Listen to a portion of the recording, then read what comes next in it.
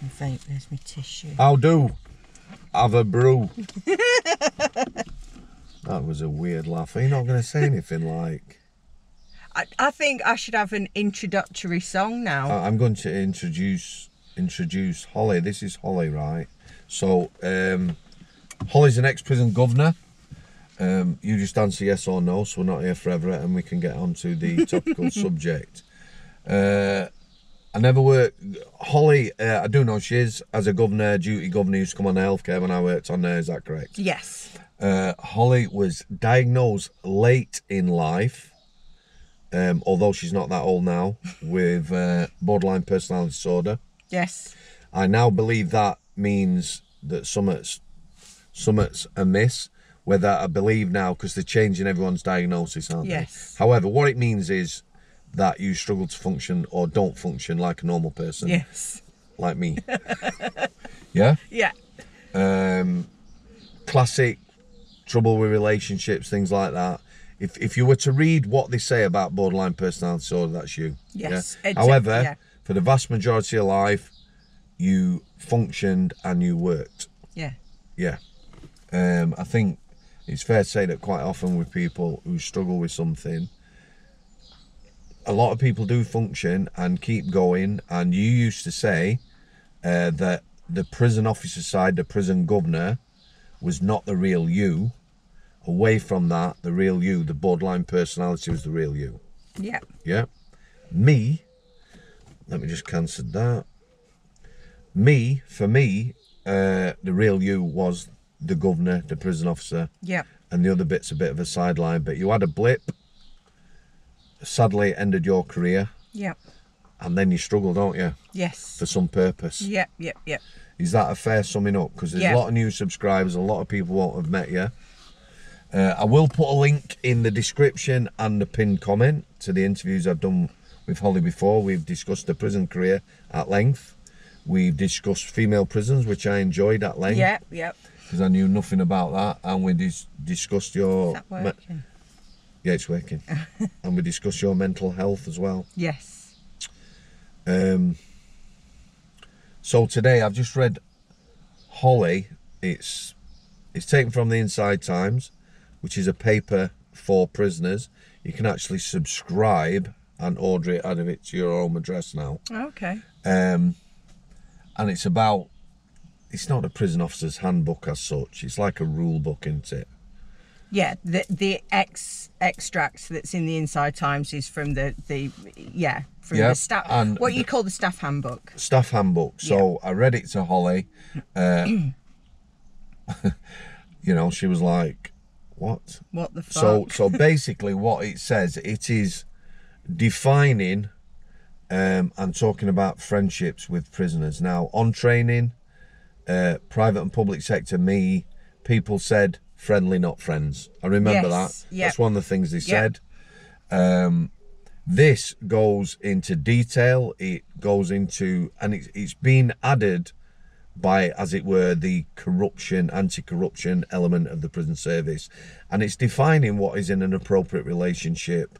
You know, if it's uh, anything to do with sexual element, anything to do, basically, it discusses all the emotions involved, and Not to treat them like you would a family member, a Yeah. sibling. yeah, Um, yeah, not to not to treat them favourably. yeah, Um, I mean, anti-corruption covers this sort of basic sort of um, sort of bribery, blackmail aspect, bringing stuff in, etc., etc. No people- personal gain of any sort, Yeah. whether that be. It actually says like emotional gain, doesn't it? You yeah. know, So basically, implying that staff could possibly use prisoners to fulfil an an emotional need in them. yeah, But my reading and interpretation of it was that basically this is this is really basic. You have no emotional connection. Obviously no physical connection. That's quite Yeah. obvious. But Yeah. you have no emotional connection and treat that person favorably due to that. So I'll give you an example. So if for example you had someone that was actively self harming. Previously in the past, what you or I would have done is maybe give that person a little cleaning job just to get them out the cell, just so you can observe them, just to give them a bit of purpose. So basically, what's that? What that is saying now is that that is is classed as corruption because you're treating you're one drawing emotion into it because you are feeling an emotional connection, i.e., empathy with that individual, and therefore because you are feeling that empathy, you you have given them a job. But I think I'm just going to waffle on here now because it, you know it's really got me thinking. So if I relate it to myself, Yep. I have sort of emotional deficits. So, like, really serious emotional deficits. Yep. So, helping other people definitely, definitely fulfilled an emotional gap in me. It made me feel better about me. Okay. I did it because I am generally, I would say, an em- empathic person, but my whole career was centered around what can I do to make this person feel better? What can I do to take away the pain, whether that be staff or prisoners? Because I know how that pain feels. So, under the new definition, under the new terms of anti corruption, I'd be a corrupt member of staff. Well, you know, uh, on on similar lines, uh, I probably haven't got as many deficits. However, however, in life, you know, on reflection, helping. Well, in fact, it's a fact. Helping people helps you. So now, what I do, helping people helps me in the prison service. Yeah, no one's gonna pat you on the back. I didn't want pats on back. No. Neither did you. Oh yeah, or did you? But helping people was, you know, when I worked on the healthcare, you know, some of the people, you know, there were some individuals who, you know, as well as being violent and disruptive and everything else, were not in the best place. Um, and how can you not feel sympathy for that person? Right. So some officers, right, uh, were very cold in the job, weren't they? They just, you get job, you get people who didn't care. yeah. You get people in the middle who did the best job they could, but perhaps, you know, Didn't have the passion or the, yeah, the and drive. then you get or- people yeah, who, you know, took the took the weight of the world on their shoulders. well, yeah. Yeah. So th- for me, I'm just not gobsmacked because nothing surprised me now. Uh, Just why do people feel that they need to break it down to that? Is it so it's there in black and white, and then if they want to get rid of someone or sack someone or say, well, you you know, I, I, I've got a bit of a theory. So obviously, there's been mass recruitment. We've we've talked about this previously. I'll in- give the figures now. Go on. So, roundabout England and Wales, UK prison service, working with lads or males, mm-hmm. yeah, the lasses or female staff is now running at about 40%. People have predicted, probably not the prison service, because I don't think they really care, that, you know, maybe in the next two to three years or five years, it will be 50% female staff male staff in a male prison. But not only that, take into account the age of the people that are being recruited as well. Yep. So we've had mass recruitment in terms of uh, when they obviously they decimated the workforce during workforce modernisation, Yep. and then uh, when oh fuck we, we've we've we've made a mess of this, so re-injected a lot of investment um, through what they called the key worker um, and offender management model. Yep. Um, so basically. Um, attracted a, a significant new bunch of staff. I'm not saying I'm not saying um, they were all young, but Yeah. I would say the majority. I know 19 year olds that were were you know trained as prison officers. Uh, you know, 19, I I would say. I would say so. You know, the bulk of the staff that are recruited are between 19 and 30 potentially. Now that may be wrong from statistics, but that's my personal experience. So you're talking someone potentially who has no life experience or very little life experience. It is Correct. incredibly overwhelming to work in the prison service. So I, my personal theory is that they are having to nail this down because people don't know how to function. On the one hand, you're being told you're a key worker, so you are everything to that person. you're a Just in, in very simple terms, because there'll be a lot of people who who don't understand. key worker. Yeah, explain what a key worker is briefly, because obviously I've got all day. Uh, and, you know how much I talk. Yeah, yeah, yeah, yeah. So a key worker is basically a prison officer who is assigned a, a a core group of prisoners, maybe about six prisoners, and they are there with that prisoner throughout their journey in custody. So they will help them with elements of so if they're doing like a short sentence their their basic needs might be when they get out they need housing or they need to access some drug services or um, the the prisoner might need them to liaise with mental health services. So that key worker sort of does that sort of wrap around work with that prisoner is that a prison officer? that's the prison officer.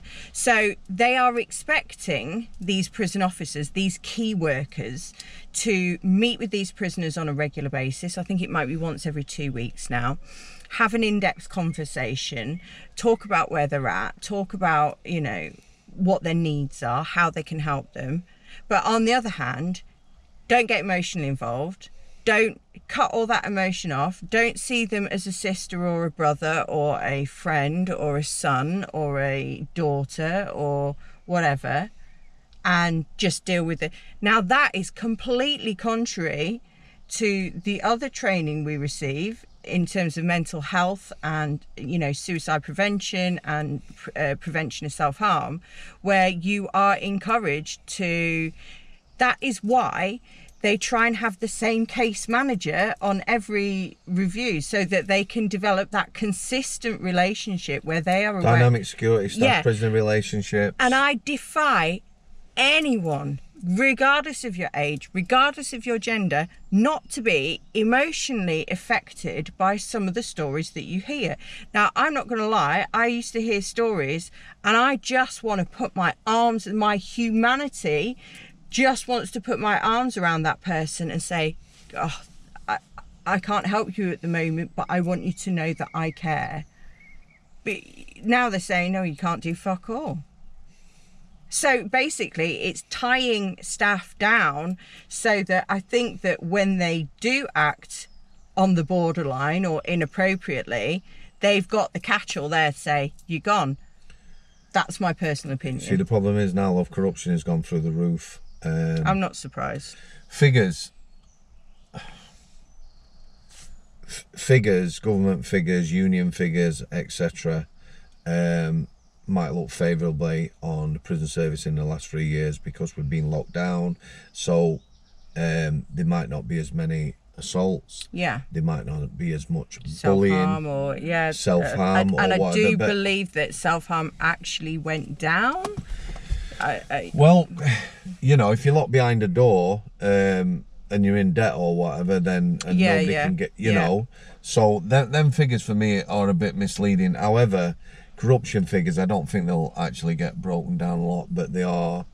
The, the corruption's gone through the roof. A lot of prisons, again, they won't tell you this, have enhanced gate security, whatever that means. Um, like I say, you've got a lot of young, inexperienced staff. Well, all staff are inexperienced because you've got inexperienced managers now. yeah. Very little Yep. experience left on the landings. Yep. Very little experienced staff at governor level. I've I've heard one or two people one or two people have messaged me. Do you know this person? Do you know this person?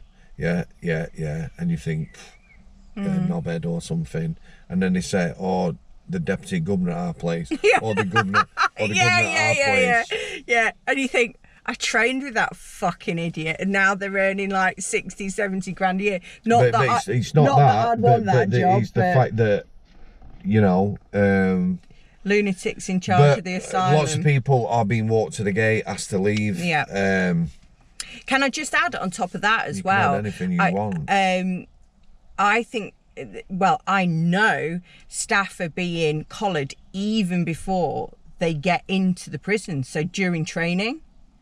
So there's um, there's been uh, well just prior to towards the end of my time there was um, you know several investigations about the propriety of staff in training.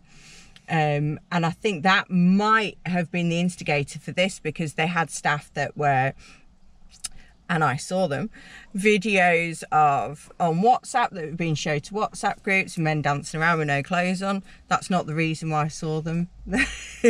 Yeah. Just to clear that up. Yeah. Um, but you know, racist, abusive, um, you know, discriminatory sort of behaviour and actions that were being caught on WhatsApp, uh, people being made to feel really uncomfortable with this inappropriate behaviour.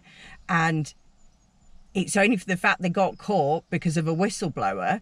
Now, that behaviour could have quite easily translated into the prison service and you're thinking these are people so they we we were encouraged or told that what we need to have is moral authority that was the words isn't it friendly but not uh, friendly but not friends Yeah. moral authority Yeah. so you're the one Yeah. sort of taking taking the the sort of the the consistent moral attitude Yeah. But we've got people that are in training that seem to have none of this sort of HMPPS consistent morals. So it go it- Right. So we'll we'll talk about the forty percent last. For me, you know, you you worked in uh, in female prisons, didn't Yep. you? And th- there is a percentage in there. I know there is. I know Styal Yeah, can I- advertise for female only staff, can't yes, they? they can. Yeah. So yeah. Have you any idea what that is? We'll make one what? up for now. Do you think it might be seventy percent have got to be female or more? I think they changed the. So we've been through a period of recruitment, haven't Yeah, we? yeah. As the prison service, Yeah. as the prison estate has expanded. So I think it ha- used to have to be around 60-40. So say you're in a mid. Uh, uh, uh, sorry, I think it used to be more. I think it used to be about 70-30. So seventy percent of lasses in a In- lasses jail. Thirty percent men. And having worked in there, would you agree that you needed more lasses, more female staff? Yeah, purely because of the circumstances in terms of searching um, property. It, it was the basic prison functions, not in terms of the relationships. Yeah. Um, it was more to do the basic prison functions like searching and, and stuff like that. So, would you not think that would apply to male jails as well? yeah. Um, I think the, the problem is now, isn't Yeah, it, I- that they're struggling to recruit, and it just seems to be attracting more lasses. I think what they need to do, I mean, I don't personally see anything wrong with a male prison advertising for male staff. Now, that might seem quite controversial. Not. However, so my opinion as an ex manager is that each prison is going to be unique in terms of um, their function, Yep. and each prison is going to be unique in terms of their current staffing Yep. sort of um, ratios. Yep. So, for example, you have a local prison like Liverpool, which has a high turnover of prisoners, a very, very busy reception, Yep. uh, lots of searching going on, lots of security related, uh, you know, activities going on. You could argue that you need a 70 30 male Yep. female split in in Liverpool. Yeah, I, I, I But would you could argue- go with that. At Hindley, which is a category C prison, which is a little bit lower, which doesn't have as busy a reception, Yep. um, you might say, oh, you need a 60 40 split Or you could get away with the 64. or you could get away with a 60 40 however my opinion is it's down to doing what uh, probably you know a a i hate the word benchmarking and i don't use benchmarking in terms of previous use of the word benchmarking in the prison service. I mean benchmarking is in what tasks do we do? Yeah. how many hours do we do those tasks? So Yeah. how many hours do we spend searching in reception? How many hours do we spend uh, you know searching cells and having to full search prisoners? And how many staff do we need to do that? Simple as that. Yep. and and we can't just say oh we need staff staff on the landing staff on the landings and again Staff being either females or being males. female uh, you know and without without being uh, so the, the feminists are probably going to shoot me down here but it's reality it is absolute utter You need reality males in a male jail, and you, You need, need- females in a female jail to carry out your functions, your basic stuff, and and and, and that's facts into but it. also i'm going to talk about the, the pure physicality and the differences between men and women so I, oh, there Oh, were times no i No, no, I'm with you. I'm with you. But I'm with you. okay, so Yeah. without, and this isn't sexist, this is fact. If you are a male working on a jumpy wing where it's a little bit tasty, a little bit of stuff going on, Yeah. say there's six of you working, there's you and five others. Yeah. Okay. Do you want five other 21 year old women? And I'm just generalizing here for Which all the, the happening now. feminists. Yeah. Or would you like maybe one or two women and the rest males that can maybe, because the A balance. A I, balance. I would like a balance. Um, let me. mean- T- somebody asked me a question the other day. So they said, uh, been involved in a lot of incidents." Yeah. Is there any of them incidents where, uh, any any female officer you ever worked with, you would want her involved? I said no. Hmm. I says one. Well, two reasons. One, I was brought up That to women respect don't- women, don't get, res- uh, respect yeah. women, look after Protect women. them, yeah. You, you know, Miss Walters uh, used to, if I were opening a door and someone were kicking off, the number of times she kicked off, I'd move her out of the way, Mm. and she'd be like, "Ah, I'm a pencil." I said, "No, move." You know, if he's gonna do something, so I- there's that. I- and the other I- point yeah. is the physicality. If I was going in a cell, uh, on K wing with some violent individual or whatever, these lads I won't want at the side of me. And also, Never mind. The, the, there's not any incident I've ever been in that I would want a lass at the side of me going in, kitted up to deal with someone violent. Abs- not a chance. I agree with that. And like I said, that might be a really unpopular opinion, but it is the absolute matter of the fact when you are dealing with these prisoners that are either off their heads on drugs, so they've got like super strength, Yeah. they've been in the gym. I'm not even kidding. Some of the female prisoners we used to send male staff into because they were so dangerous and they were so strong. I told you, I told you, Mick, because you you know I like to tell a story. You love a story. Mick, we won't mention his second name. He's fantastic. Used to be CNR instructor Yeah, yeah. who left. Yeah, yeah. I know him. He told me, I, I think it was at, at your Nick, style prison, uh, eight months pregnant, last Yeah, yeah. on drugs. Yeah. Oh, yeah, horrendous. three teams. They got three teams kitted up, or two teams kitted up, lads. Yeah. They've gone into deal where she's wiped one team out, like chucked them all off, Yeah, battered them, yeah. smashed them. This is a, a very petite, eight months pregnant lass. The second team's gone in, she's wiped them out, and they've ended up having to put a third team together. Half an hour, battered 12 officers, this lass. You know, so Yeah, and I don't know. I mean, I have been involved in hundreds of CNR incidents. I've been involved with uh, females and males. Um, I've been involved in sponsor and but I will say the incidents with the males, every single one of them has been a spontaneous incident. I.e., when it's, it's happened there, you've had to respond. Yeah. So you know, a fight or something. I've been involved in uh, CNR incidents where there's been me and two other women, and we've managed to control it. control and restraint for people Yeah. who are new to the channel, right? As a prison officer, you talk to work in a three officer team to restrain people, basically. Most people, it works well, doesn't it? Yes. You know, there is a percentage on drugs, super strong strength, physicality. Yeah. It doesn't. So when we're talking about CNR, control and restraint, that's using uh, Legitimate little force. bits from martial Yeah. arts, locks, wrist locks, arm locks, and that sort of thing. Yeah, and and the aim, in my opinion, is to get that person in cuffs as quickly as possible so that they're subdued and they they can't. You Minimum know, use of force, minimum. Minimum. risk to them, Yeah. minimum risk to staff. Exactly. Um, and so yeah, so we we we we're taught and we are trained that you work as a three officer team. Um, but yeah, so we've completely strayed off the topic of corruption, haven't we? But it's, Yeah, but, but it's all right because what we're talking about is lads and lasses and having a balance and a ratio, which is yeah. what it's about for me. A lot to do, again, it might sound controversial, uh, of the corruption going up is because it is attracting more younger vulnerable people, staff. vulnerable And I wouldn't say these are horrible people. No, I I, wouldn't. wouldn't. say they are people that go into the prison service with the intention of behaving in that way. Not at all. Let's remember people that, and I'm not generalising because I know there's going to be ex offenders watching this, um, and you know I don't want to cause offence to them, um, but there are people in prison that spend their life, spend their whole time watching staff. Watching staff, watching how they interact, course they will. looking for their weaknesses, looking for their sort of, you know, the behavioural quirks and things like that.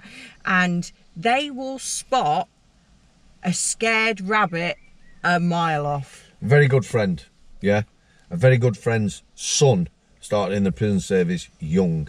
He spoke to me. I don't want him to do it.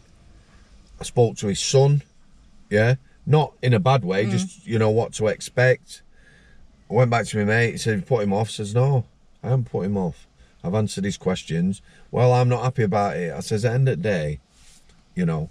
So let me tell you what happened because it didn't end well, and that, well, he was getting bullied. So when when he got his first placement, he's getting bullied. By so staff. no, by uh, a prisoner. So Okay. he is an OSG. He's not a prison officer. Yeah. He decided to go in as an OSG, Operational support grade. work yeah. alongside the prison officers, but not so much prisoner Prison- contact. yeah, yeah. So this guy uh, took offence. He's in his face constantly, threatening him, and the like made life uncomfortable. I know this because this is what his son said. This other guy then pulled this guy and said, you know, give the lad a break. Uh, it come to blows. The lad who said give him a break ended up filling in the lad who were bullying him, and cut long story short of a 12 month period he ended up where he started taking him things in. Because he felt grateful Yeah, that he'd he say, yeah, that he'd he's, le- he's his left the job now Yeah. uh, he just escaped prison. He's not a bad lad uh, he's got to send another job now. Um, it is a difficult gig. You and i know when we were at Strangeways um, a couple of lasses one more mature and one young both ended up getting sacked for inappropriate relationships Yeah, it, it was. We went through a spate at Liverpool prison where it was quite common, um, and I don't know whether these people. There, there were some that I definitely know had the sort of criminal intention, had criminal links outside of the jail. yeah Um, but there were some that, and I use inverted commas, No, say it. fell in love. Right, right listen, I, I, I do say this. Um, my first job, I worked in a kitchen knife manufacturer, big, big factory. Yeah, there must have been 250 lasses from young to old. Hmm. There was about 30 lads. You got sexually harassed. You got passed around at Christmas. Uh, lots not- of attention. yeah, no, no, lots of attention. Uh, you know, it, it was a bit scary as a young, but also it is quite flattering. Mm. And you know, you, you- girlfriends or whatever, where you put lads, old time con, jewel thief. We were talking as, on a similar lines about this, and he said, "Right, uh, I've done a lot of jail. Uh, I remember when lasses came into the prison service, Miss Samworth, and he said the discipline went.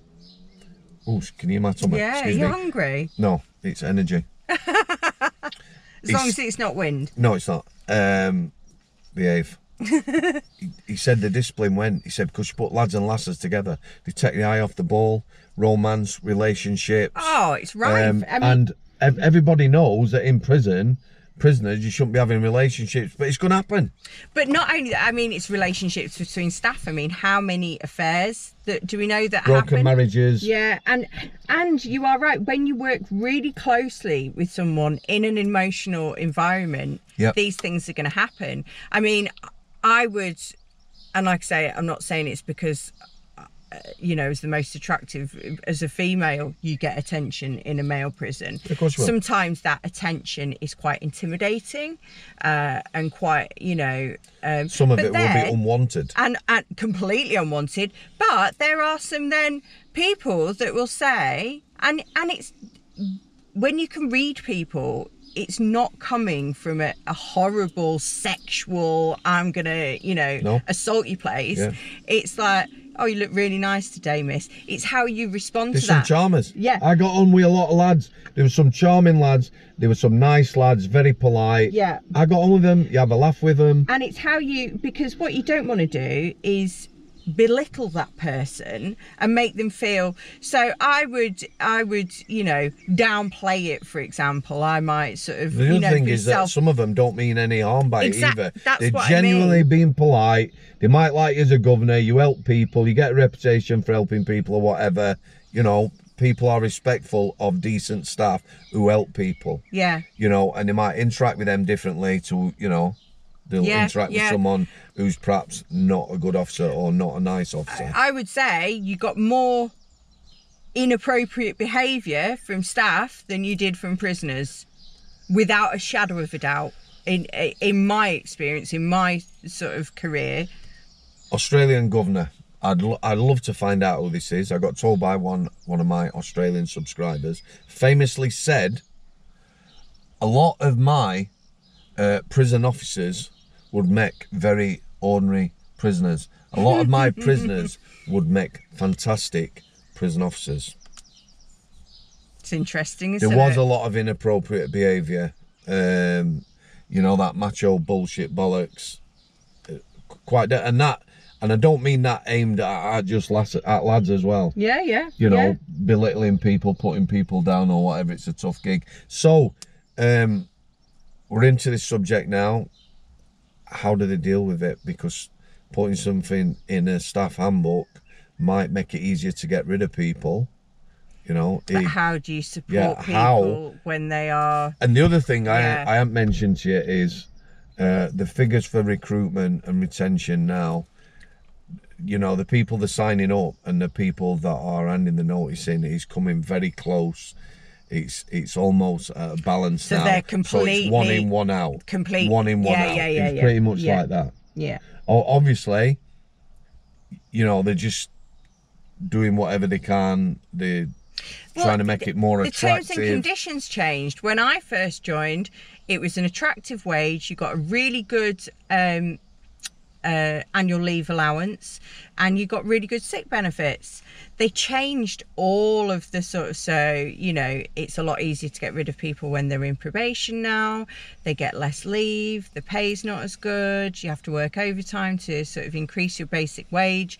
Um, the career sort of prospects. So when I jumped from officer to senior officer, it was a significant pay increase, but therefore the assessment was more stringent. You were, you know, so yeah, so so there's a there's a lot of things that have changed. Um, How do you address it? Or can't they? I, I, I honestly, with the, such a high turnover of staff, it's like prisoners. If you're doing a short sentence, what quality work can you do with that person? Okay, Nothing. nothing. So, in terms of moulding staff, and so we have less staff Retaining them. So, retaining staff. So they become experienced. So we have less experienced staff that are there to sort of mentor them and bring them on. So an experienced member of staff now is classed as someone who's got two years in, Yep. uh, and they're already potentially. I, I think somebody told me in their prison now, it's one of the London jails, um, the classing experience is over a year, and the amount of people is 50 percent with more than a year in, yeah. fifty percent with Yeah. less than a year. in. Yeah, yeah, yeah. But like you say, how do you address it? So you've got very clear guidelines now, Yeah. basically that you're an emotional robot and you're not to engage in any sort of Emotionless. emotionless robot, yeah, Yeah. and not to engage in any sort of um, familial. I think those are the exact terms, familial relationship, Yeah. um, which I don't know how you can function in. Um, so what do you do? That's the big question. So how do you, I know sort of when I don't know if your training was the same. When I did training, we did lots of role playing, lots and lots and lots of role playing. But does that, f- well, No, in thought it my just- opinion, it does not fully It's not real. prepare because if someone's there threatening you in a role play, you know damn well they're not going to hit you yeah, or yeah. do anything, are they? It's So- not real. The training is not real. Training is poor. Well, that's why they started. They started doing more on the job training, didn't they? So you were you were actually in a prison more, going Yeah. round in twos and threes and sticking out like a sore thumb, and Yeah. everyone knowing that they were the, the junior screws. So that was quite awkward. Uh, but I genuinely do not know what people can do to address that because a lot of it comes with age and experience. A lot of it comes from advice informal advice guidance mentorship from prisoners uh, sorry from staff. I, will give you i remember i went to um, I got really terrified once. It was working when I was working on the wing at Styal, and it was coming up to New Year's Eve, and it was it was year two thousand, and it was coming up to the New Year's Eve as we were moving into year 2000.